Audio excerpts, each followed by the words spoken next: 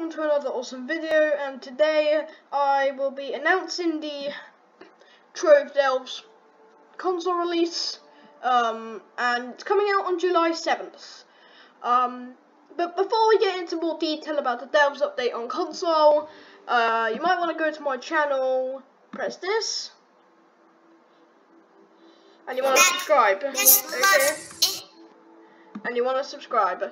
Um, Thank you to everyone who watches my videos and enjoys them. It's really appreciated. I do it for you guys so you can get entertainment at home as now we're in quarantine and lockdown. Um, and when this corona thing ends, um, everything will be back to normal. But thank you for all that are using me as a choice of entertainment. Um, but now we're going to get more into the Delves update.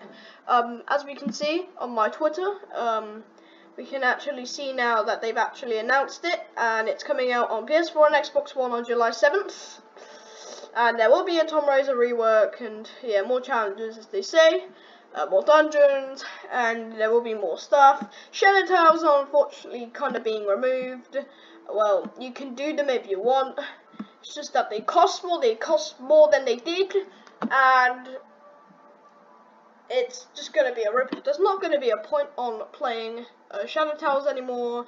But now that they've kind of removed Shadow Towers and you don't actually need keys anymore, um, it reduces lag massively and that's really good because the thing is, we've had many lag moments in Trove, especially in 2017-18 when the Trove Heroes um, update came out um, we have massive lag, and console players, especially PS4, did not like it because PS4 was the main one affected, and we've had and Trove actually had many complaints.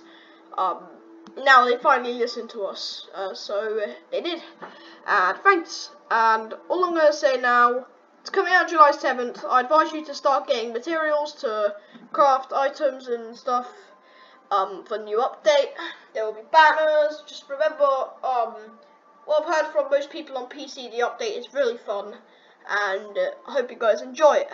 Um, the Shadow Towers, you're, um, there aren't any going to be keys. Keys are going to be removed by 2021. If you have any, uh, there will be a new type of key called the Delve key. Um, Delve key fragment. You get them just by grinding any world. You get them in every single world. There's only one key fragment now. Um, you get that fragment, you make keys, and yeah, um, you end up crafting Delve portals.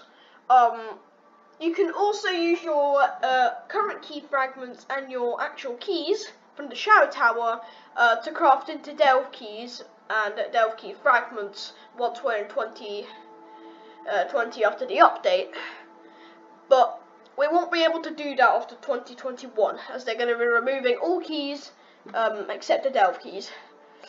So guys, you might want to start getting prepared before 2021. Come back um, if you've quit. if you quit from Trove, you want to come back, then come back now because you don't want your keys to go to waste. Um, but that's all from me.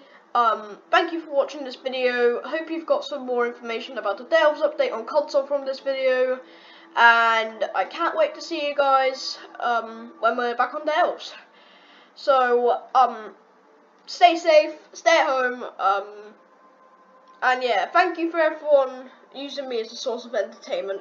I'm gonna drop out, and yeah, this was Delves update. So, thank you guys for uh, watching this video and finding out some more information. Uh, I'll see you guys in the next one.